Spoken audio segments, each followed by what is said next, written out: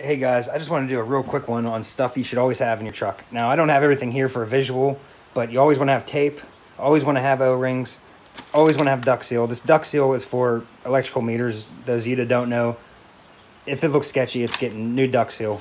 Always want to have some sort of like lubricant because, you know, when people ask for money on the side of the road, you want to make sure you make them work for it. No, I'm just kidding. It's for, you know, quick connects and stuff that are sticking, uh, stuff squeaking, whatever, you know. WD 40, some, some, uh, KY je- or some petroleum jelly, and bang. But always have extra hoses. Uh, I, I, I use, you know, 12 volts a lot, so I, I obviously I have a battery pack that can run them for a while, but I I always carry an extra battery, um, extra pressure washer, which which you'll get there if you're not there yet. But I also, as far as chemicals go, I mean soap's soap to me. I, I people push a lot of clout to try to push their soaps. Like this is EBC. I, it's it's soap. You know what I mean? Eh, eh. but you always want a good acid. Um, I used to always rock the Sure Klean by Prosoco, but their customer service, they're like, they're seriously like just, I don't know how to say it, they're jerks. So, EaCo Chem's by my house, and now I rock EaCo Chem stuff. Um, for all my uh, new masonry cleanup, like mortar smear removal, for, from people brick pointing or new masonry construction, I always use NMD80 for uh, oh that's NMD80 too. For for like if you look at this here, it shows they're cleaning limestone. I don't use this for limestone. I think that's limestone. I don't use this for limestone though. But uh, they, they're, they're showing they're cleaning glass with it. I use it for um. Actually, I didn't even look at this. It shows you all kinds of cool stuff you can clean with it. Hard water deposits. Didn't ever look at this. I just always use it for uh, oxidation removal whenever metal oxide. So this this can get rid of rust stains too. It says, but I've always used this for getting rid of, like, say, aluminum siding became oxidized, leached down to brick skirting below, or shutters leached down onto brick or stone or whatever. That's what I've always used this for. Works great for that oxidation removal for, uh, from masonry. And then, where's the BARC? Where's the BARC? Th- This is F9 BARC for rust stains on like vinyl and masonry. Th- That's what it's made for. That's what I, I I always keep this in the truck. I don't always keep acids on the truck, but I always do keep this because you never know when you're gonna run into like an air conditioner unit or something that left rust stains. Um, these are a must. These are just like sh to me. Like I'm always running into wood, so uh, that sounded wrong. But you you can see where this is a problem. This stuff gets wet and comes off, but I just rewrite it. These are a dollar at the dollar store. I buy big bags of this because it's cheaper from the chemical company that I get my SH from.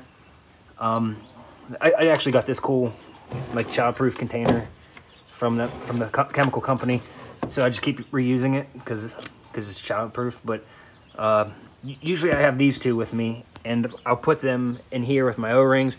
I, I have another one that's taped right here. I have O rings, um, Gone, and like some razor blades and my sodium sodium hydroxide or sodium yeah sodium hydroxide and oxalic acid. Those are for cleaning wood. Keep at least this much on the truck, like I do, anyways. If I know I'm doing a deck, I take more. You know, these are a dollar. Like fill them up. You know what I mean? But uh, yeah, necessities, cones, obviously. Um, but yeah, for sure, for sure, as far as chemicals and like miscellaneous goes, I always keep a few extra quick connects in case something breaks or whatever. Uh, O rings, tape, I said, uh, lubricant, and duct seal. Just, just a must, right? And, and then obviously all your pressure washing stuff, your lances, your hose, hoses, your for for pressure washing hoses, like like obvious stuff. But as far as chemicals go, for basic like regular house washing, this is what I would suggest you definitely have. And, and like I said, soap soap. You can like if you're into the dyes, if you got the uh, uh, crap. Now I'm having a brain fart. But if you're into the dyes, I, I like the apple wash. I have some. That, that's usually what I use actually, just because I like the smell of it too, and the customers love it. They love the smell, uh, which gives it like marketing purposes. But like EBC, dude that sells it's super cool and everything. I bought it because of the clout, I guess, like the the stigma. You know, everybody like he, he's a pressure washer. The guy that makes it, so everybody pushes it for him. But uh, yeah, it's not. It's just soap. Uh, whatever soap you want to use. I I've bought a bunch of them because of the clout, but soap, soap. As far you'll, you'll have like these people that are like chemists that try to break it down for you and act like it's gonna make or break your project, but I've never ran into an issue or never used one soap from another soap that would make or break my project. Just what it is. I don't know if I said this yet either. Uh, this is just another one for oil spills, and, and this isn't something you got to keep on the truck all the time. It's just it's what I use for like grease trap cleaning and uh, dumpster pad cleaning and oil spill cleaning. But but I was just talking with a guy. EaCo Chem has uh, oil spill removal remover.